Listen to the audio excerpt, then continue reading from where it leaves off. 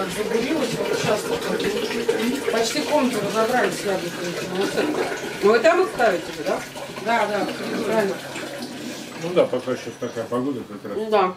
Вот так. Помещение я Мы с Лешкой на кухне там мешки перебрали. Надеюсь, вы яблоки, мы там тоже чутка порядок навели, да, Леша? Именно. Отсортировали. Вот там только это, медикаменты, не знаю, куда складывать.